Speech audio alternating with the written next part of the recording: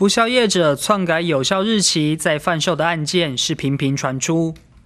就有民间团体认为，除了要对不肖业者处以重刑之外，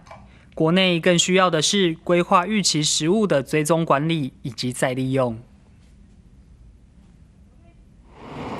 台中市雄勋公司篡改标签贩卖过期调味料给下游的食品厂。另外，台北一间水产批发商渔洋国际也是篡改了高价海鲜的保存期限，再转卖到大饭店。不孝业者篡改有效日期再卖的案件频传。民间团体认为，除了对不孝业者重刑外，国内更需要的是规划预期食品的追踪管理以及再利用。机器品的状况，我们会希望说，呃，可以仿照他国，就是有一个赏味期，然后还有一个保存期限。那过了赏味期的食品要怎么处理，然后要怎么捐赠，也是一样要把那规范定出来，那后面的流向才不会混乱。事实上，早在前年，立法院就已经三读通过修法，将参委或假冒等行为的罚还额度上限由五千万大幅提高到两亿元，希望贺阻不法。但根据食药署的调查，国内通路商每年丢弃约三点六万吨的食品，如果再加上食品商过期的食品原物料，数量更庞大。由于国内预期食物被视为废弃物管理，主管机关属于环保署，